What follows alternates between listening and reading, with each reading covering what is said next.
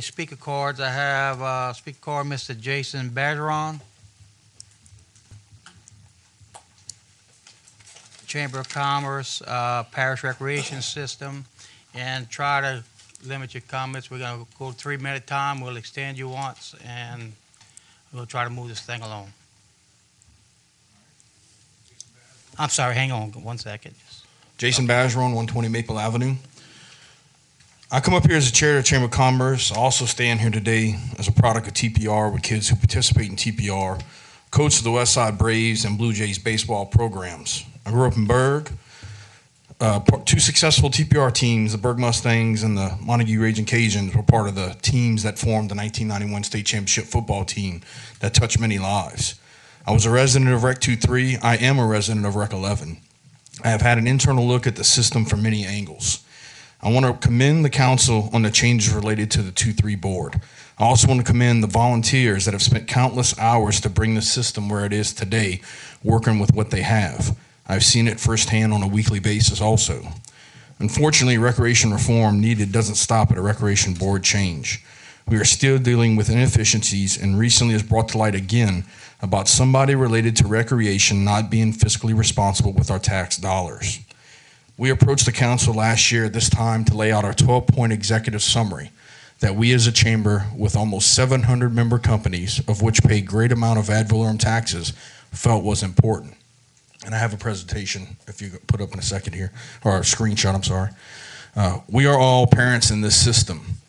We still stand here today for improvement in a system that needs improving. We're not trying to lay blame. This isn't something one person can fix. It takes a collective group of people and a lot of effort. We are here to help. What the chamber did is we came up, we feel like as a chamber that we need to have a system wide master plan. And I think it's interesting that we've come speak tonight because we have heard a lot about recreation just tonight that really solidifies our stance on coming up with a system wide master plan. And I have five points that we have come up with that determines why we feel that we need a system wide master plan. Number one, we have a dysfunctional, inefficient system which has created imbalances with facilities and tax rates. In some areas, like mentioned tonight, too many facilities and not enough money to go around. The Bayou community recreational needs differ from more densely populated areas. The Bayou Country Sports Park, which I'm, a couple people have had uh, trouble saying tonight, and an airbase park, if funded, need a different organizational structure with dedicated local funding. TPR needs to be restructured to service the modern needs of citizens of all ages and areas. And lastly, number five, we need a better organization and tighter fiscal oversight are needed so that the public trust is no longer violated. Again, as a chamber, we've been working on this with everybody. We want to help. We want to ensure that our recreation system, with the revenue that's come into the system over the last 10 years, uh, that we feel we all should be able to do better for our, our children. And, you know, I, I missed baseball practice tonight to be here. Hang on one second. Motion to extend, Mr. Dirk Guidry, second, Mr. John Navy. Okay, Continue. And I'm in, I'm in my gear. I was supposed to have baseball practice tonight. So I'm here. Um, I'm part of the system or from the system.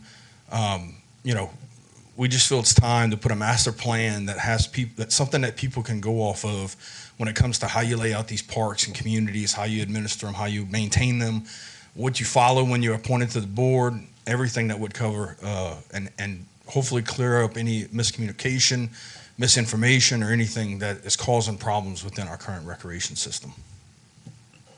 That's all I have. Thank you. Um, Okay, see no lights, look, I- I'm going to address a couple things. Um, For one thing, I see, you know, your number one item is a, we have a dysfunctional, inefficient system, and I'll wholeheartedly agree with that.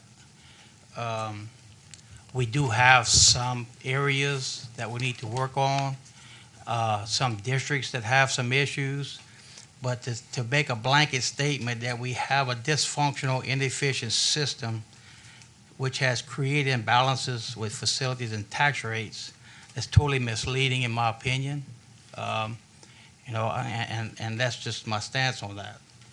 And your second item, I, I totally agree. The Bayou community recreational needs differ from a more densely from the urban, uh, inner city area. There's no doubt about that. That's not just in Terrebonne Parish. That's that's in nationwide. the Bayou Country Sports Park and the Air Base Park uh, needs a different organizational structure with dedicated local funding. I'm in total support of that. I do not think that those complexes should be managed by a, a rec board when they're not structured to do that. That's my opinion. Now, I can't speak for the rest of the council, but I can promise you that's my opinion. And that's a stance I'll take on it throughout this process. TPR needs to be restructured to service modern needs of citizens of all ages and areas. I totally agree with you on that. I, uh, I, I think our TPR needs to be restructured. You know, we, you know, in the, when I was in TPR, and like I've said several times before, I'm the oldest guy sitting up on this board. When I went to the gym, there were lines of people waiting outside, the kids waiting to get into the gym. It ain't that way today. We got to think out the box. We got to figure out what it's going to take to get our kids off the streets and into these organized, structured activities. You know, and and I've I've mentioned to my rec boards. I've mentioned up here. You know, that the, the today's society is more electronics. I mean, I see three people on their phones right now while we're talking. You know, one of them being an administrator. So, you know, our kids are even more so in, in, in inclined to be on these electronic devices. So my suggestion is to get some of these things, you know, try to utilize that in, in our recreation programs. If that's what it's going to take to get them in there, let's, let's do what we got at hand. Uh, that's, that's what we're dealing with. So we got to think out the box. We got to get these kids off the streets and put them in some uh, structured activity, supervised structured activity. And better organization, fiscal, tighter fiscal oversights are needed. I think we proved to the people that we're, we're heading in that direction. You know, we've, we've got ordinances out there that we passed and voted on that puts suspected or potential problem districts and total oversight by administration and council. So, I mean, I don't think we're way far off on, on this list. Like I said, I just, you know, the big thing I had a problem with is this blanket statement that we have a dysfunctional, inefficient system. And we do have some parts of our system that are dysfunctional and inefficient. But I don't, I don't want to label as the whole system as dysfunctional and inefficient. Now, I guess since I talked, I see a bunch of lights, so we're gonna go with Mr. Darren Guidry. Yeah, well, first of all, I agree with the five points.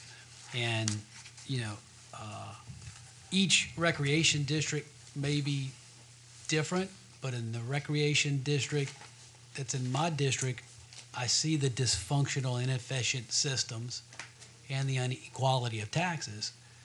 I do think some of the other items are better, oversight's better, some of the other stuff has gotten better. But the dysfunction, when I go to Elisa Park Gym and Rec 2-3 is paying for all the maintenance, the school u- is using it every day, the rec can't use it, then in the afternoon, TPR comes, but the person who's running the rec district really doesn't work for 2-3, they work for TPR, and it's like, who are they answering to? And then sometimes the general public comes to play as long as TPR is not scheduled, but they don't know when that's scheduled.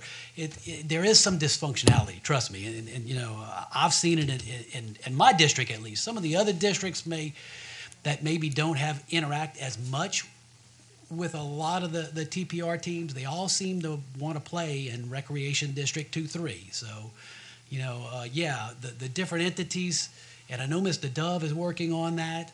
Uh, I know he, I- know he is planning to make that better, and he's committed to making that better. As far as the tax rates, I, I know you're specifically speaking of, of my district because on one side of the street's 15, one side's five, and they both are using the same parks. You know, however, you know the, the the district that has 15 just voted to renew it. So I don't know if the general public necessarily gets it or, or cares, or it, that's a big issue to the general public as far as the disparity of taxes. You know, uh, I- was shocked just like everybody else, you know, and, and I think even the rec district was shocked because they didn't know if their tax would be renewed, but it was.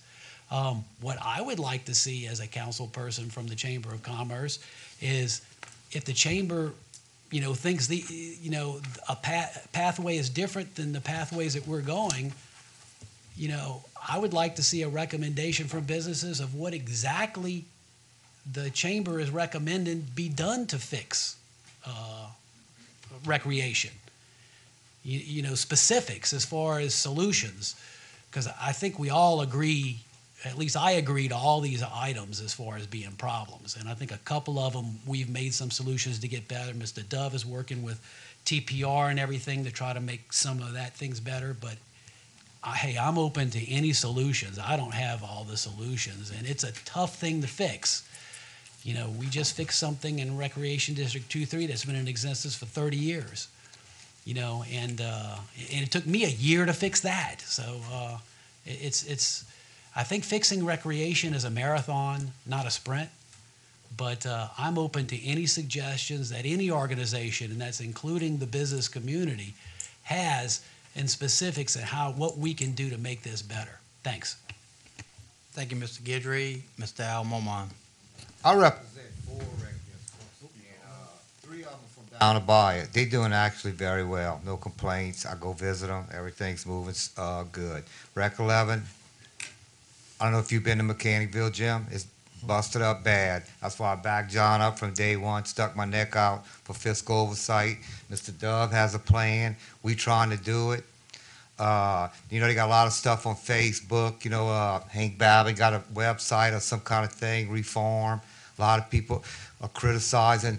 The, a lot of these people that work at these rec boards volunteer their time. Like Alana said, ten dollars an hour.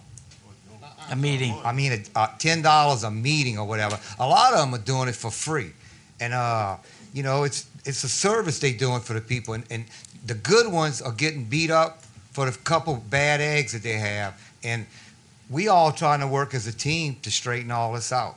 And I, I, you know, I, I'm just tired of the good people getting beat up. I know last night I went to a rec meeting in Dulac and had a lady from Montague. She almost started crying because she's been working there like 30, 40 years, and people are beating up on Facebook. And she told me that she don't like, you know, even like to look at Facebook anymore. But uh, I just want to say that I represent three bayous, and I want to tell all those people thank you for the service they do for the kids of Terrebonne Parish. And then that's pretty much all I want to say. Thank you, Mr. Momon. Mr. Navy. I, I just wanted to comment on, your, on the five, min- five what, reasons for a statewide master plan. Okay. Uh, you know, you're right. Well, one thing, this is where it's crazy at when you start talking about tax rates. We actually built a juvenile detention center for $13 million that housed 32 people with air-conditioned gym. The kids that are in there actually get better recreated than our kids that are not in juvenile detention. $13 million, $7 million facility right next to it for the animal shelter to actually put animals to sleep. You know, we need to, as a government, be conscious about what we do too, as far as the chamber, be conscious of all those other things that are going on out there too when these projects come about. That's $20 million that probably could have did some wonders in a lot of rec districts. $20 million. Now, you talk about the Bayou Sports Park and the Airbase Park. That- I just want to comment on the Airbase Park. The Airbase Park, and I don't even know if you're aware of this, but you know how that plan and, and, and that insight came about? Myself and Dirk Guidry. That's how. We actually came up with something saying we want to revitalize the airbase, and that's when we started talking about dog parks, splash parks, and all kind of stuff. But not to make it political, we gave it to a rec board member to try to run with it, trying to play chess, so we could better sell it, and they did. We're not against it. We just think that when we know that these things going to take time and money. You don't even have you didn't even have the money to finish Rec two three. Okay. My other concern is, and some of the things I agree with, we had fiscal oversight tighter, but we just, you know, we felt like we couldn't punish other reg districts that were doing what they needed to do. So we, we, we kind of minimized it a little bit. But my question is to the chamber and to anyone out there that want to answer this question, the only way you're going to get to point A, and that means just complete oversight of the whole process, is consolidation. Now, I don't even know how you get around that part of it, consolidation, because number one, all the rec districts has to agree with consolidation, and if one don't, consolidation doesn't happen. My concern is if there's a plan of consolidation, I would like to know it here, if the chamber has a plan toward consolidation. I think that's the most difficult sale in the world, to be honest with you right now, because one of the things that I heard you say, you're a ninety-one product of TPR. Well, I'm a like seventy-nine product of Heart. You remember Hart? Mm-hmm. Yeah. Well, I don't know some of y'all may not remember Hart, but of heart. And the thing about it was, District 11 came about because of neglect within the inner city. You know that, and that's mm-hmm. my districts mo- mainly. Those board, those guys came up with let's create Rec 11. That's how that came about. At the time, they didn't realize that Rec 11 and the district that I serve incorporates a lot of other business districts. They, they didn't realize that. Rec 2 3, when it was created, it didn't have all the money it have now. You know what really boasts 2 3 up besides the residential? The MLK corridor. That really did it. And that's why they have the money they have today. Okay, so I've been doing a lot of research and study too, but I just would like to know how they're going to get to that as far as consolidation. My biggest concern is, and I don't know whether these council members are aware of this or not, everything is growing to the west side of town, okay? Further north, around 311, everything like that. I hope people understand that, and I hope the general public understand this. If you continue to take the tax base from the east side and, de- and deplete it like it is, you decrease the tax base of recreation. And I'm sometimes wondering if this by design. Businesses, residential development, we don't have hardly no development going on the east side. We can't hardly get businesses to come set up shop on the east side. A lot of them going off of 311 other places.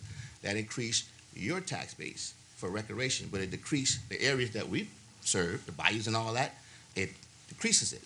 So if we keep doing this, you really gonna they they're really gonna hurt us. I would see I would love to see the chamber, if we can't consolidate, try to promote more growth on the east side of town. So we can.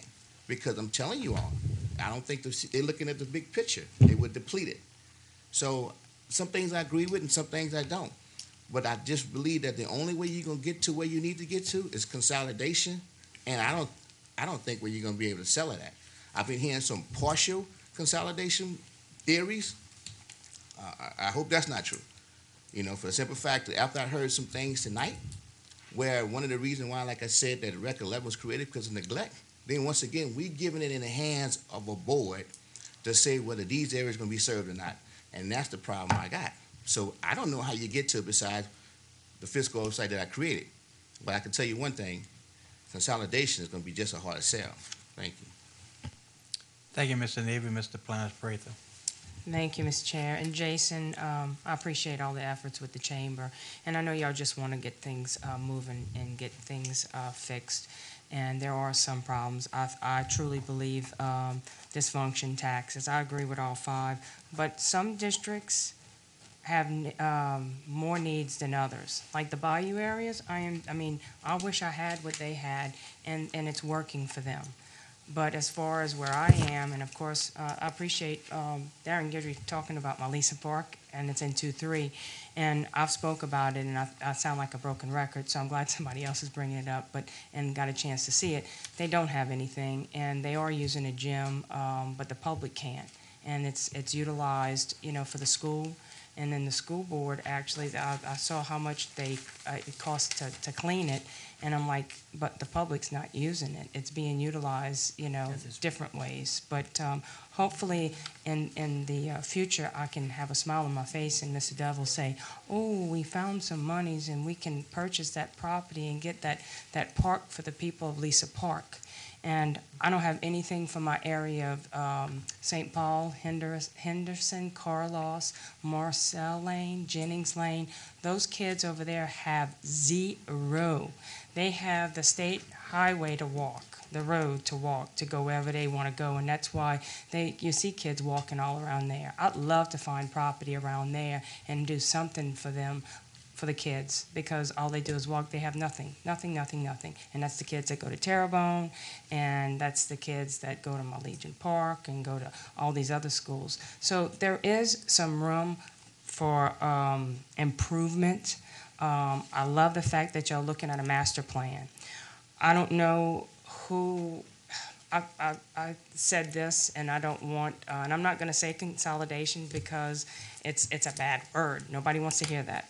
However, about a consultant coming in that's not even from this parish, that's, that knows recreation, can come in, look at everything and tell us, boom, this is what you need to do to make it look like all those other communities out there, these rural communities that don't even have the tax base we have. Because somebody's got to come in and tell us, you know, what we need to do. I think we're on a little bit of the right track, and of course, that, that uh, fiscal oversight. And I commend Mr. Navy. I, I commend the things that we're trying to do, but we also need to work with everybody within the community. Chamber's taking a stand. I think uh, people, I think that just the general public starting to speak up and say, we want something. And it is about our kids, but it's about our uh, young adults and it's about our seniors too. It's everybody that needs something. And look, I'm a product of Hark. I was on the Powder Puffs and the BBs, and very proud of that because I, then I played on Vandebilt's team and we're five. We won five state championships. So evidently, Hark helped me out to be a great player, and I had some great coaches. And um, so it, it's I appreciate you actually a coach and doing the things that you do because you care about the kids. You know, and I think the majority of people that are speaking up, whether you're with the chamber or you with any other organization, the Rotary or whatever, they just want something that's going to work and it's going to be fair around the whole parish. Like one park shouldn't look better than another park. I think everybody deserves something nice. But we do need to look at uh, structure. We knew, do need to look at um, the air base. I have the, the uh, east side as well. I'm all for bringing something at that air base. I used to go there as a kid. They had lots of things. And at one time, John, the east side was the booming side. Seriously. And now it's, it's shifting to the west side. We're trying to balance here. But um, I'll tell you, um, at one time I said, I'm so tired of hearing about recreation. But guess what? It needs to be fixed. That's why we're so tired of hearing about it, you know? Mm-hmm. And I appreciate the calls and people that are telling me and giving me ideas because that's what we need. Because I'll tell you right now, I'm not a genius on it. I don't know what the answer is. I don't have children to recreate, but I do believe that we do need to get some type of master plan to where we, we're going to make it work for all districts. So uh, with that, Jason, do y'all have some type of, um, besides all these, these five, something that y'all kind of putting in that y'all can, can tell us or help or, I mean, a consultant? I mean, I don't know, just kind of asking. Um, so I'll, if you, if you don't mind, I'll respond to had a couple If things that's thrown at me. Okay. Okay, so um, um, just kind of go back and cover it. So when we say dysfunctional system, I'll tell you, I'm speaking from a lot of that personally. Uh, from situations where we don't have enough umpires, where we're playing on fields that people can get hurt, kids can get hurt on, where you find out there's a coaches meeting and then you find out you got practice the next day, which means you got to reach out and call all these kids, and then you got practice schedules that are actually games, not practices. And then at a TPR level with football, um, we're playing on probably one of the worst fields in the parish, and it's a mud bowl basically on a regular basis. So, you know, these things that we're talking about, I'm just giving you my personal experiences. What's happened through this process is the chamber's kind of become the hub. Anything that's going on or going wrong, it's coming to us. And I want to, I didn't get to say this earlier, I want to commend Gordon Dove on a lot of stuff that we've had. We're just, we, we, don't want to be the investigative body. We, we're just getting, we get, I'm telling you, it's amazing. We get something every day that something's going on. This needs to be fixed. This needs to be addressed. So we've been working with Gordon Dove on a lot of stuff that we really say, well, we, we just have this information. This is what we got. Here you go. You know, because that's who we've been kind of working through through this point. So um, we're, we're, we're welcome to share any of that information with anybody that would like to have it. Uh, but it is truly amazing the things that we get on a daily basis of, of for whatever reason, them not, it not making it to where it needs to go. Um, with you know, with like I said, so with being that hub, uh, to address a couple of comments that you made is uh, Mr. Navy is that, for example, with the chamber and East Side, we have an East Side business after hours. We get all the East Side business together. We promote after hours on there at least once a year. We're trying to do everything, and that's been one of the things under my tutelage this year has been that we're trying to do everything we can to help businesses. I want the chamber to be a business leading organization that creates a mentor culture for businesses to grow, start, maintain, whatever they need, any help they might need, any information we provide, they come to us, and that's what we're here for.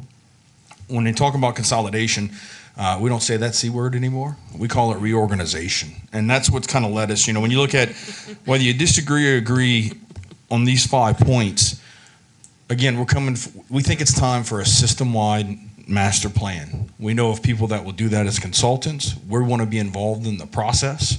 we had 12 points that we brought out a year ago that when you look at really at those 12 points, most of them were not addressed or the things went completely opposite direction of the stances that the chamber took on those 12 items. But we're moving past that. We said, let's make it simpler. Let's show what we think's priority, and we think a system-wide master plan is what's priority at this time. Well, I appreciate that, and um, any, I'd like to be a part, if y'all discuss that, please invite me, because I'd like to get more educated on the plan and what we can do. And um, definitely, I think we're going in the right direction as far as talking about it and, and, and getting ideas. And um, we need to do something and do it soon. And I know it's not going to happen overnight. So while y'all coming here is a big step and getting involved last year, and also what I think all of us are what what we're trying to do. So um, with that, I'm gonna let everybody else talk, but uh, I would like to find out more because I know you do have more. Can I, can I clarify my ask or our ask?